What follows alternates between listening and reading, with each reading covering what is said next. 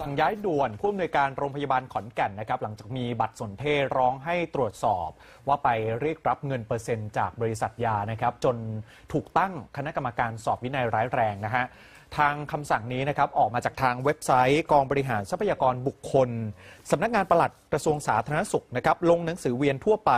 ให้นายแพทย์ ชาญชัย จันวรชัยกุล ผู้อำนวยการโรงพยาบาลขอนแก่นไปปฏิบัติราชการกองบริหารการสาธารณสุขนะครับ และให้นายแพทย์เกรียงศักดิ์วัชระนุกูลเกียรติ ผู้อำนวยการโรงพยาบาลพระปกเกล้าสำนักงานสาธารณสุข จังหวัดจันทบุรี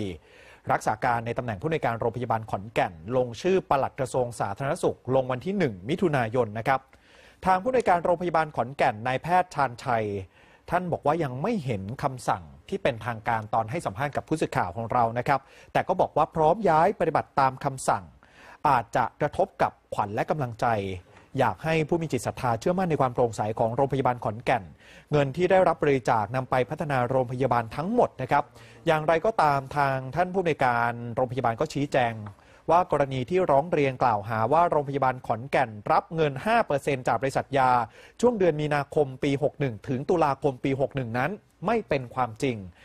การเงินเนี่ยได้สรุปบัญชีแล้วก็ระบุว่าเป็นเงินบริจาค ซึ่งบัญชีนี้เปิดรับบริจาคจากผู้มีจิตศรัทธาทั่วไปครับเพียงเพียงว่ารับบริจาคนะครับแล้ววันนี้รับบริจาคกี่บาท วันนี้กี่บาทวันนี้กี่บาท และบัญชีฝ่ายบัญชีก็ ลงบัญชีแล้วก็รวบรวมว่าเดือนนี้รับบริจาคกี่บาท แล้วก็จ่ายกี่บาทนะฮะในกองทุนนี้ แล้วหลังจากนั้นก็มาให้รองบริหารได้เซ็นทราบ แล้วก็ส่งมาให้ผมเพื่อเซ็นทราบนะฮะซึ่งผมเห็นว่าเป็นการรับบริจาค ก็เลยคิดว่าไม่น่าจะรับบริจาคจากบริษัทยาอีกต่อไปนะครับ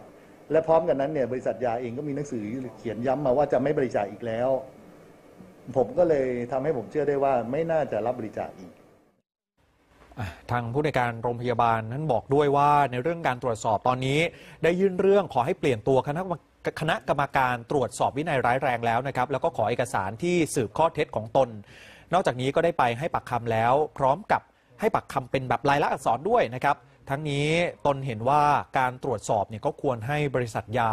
มาเป็นพยานด้วย เพราะว่าเงินบริจาคเนี่ยท่านบอกว่ามาจากบริษัทยาเองเออ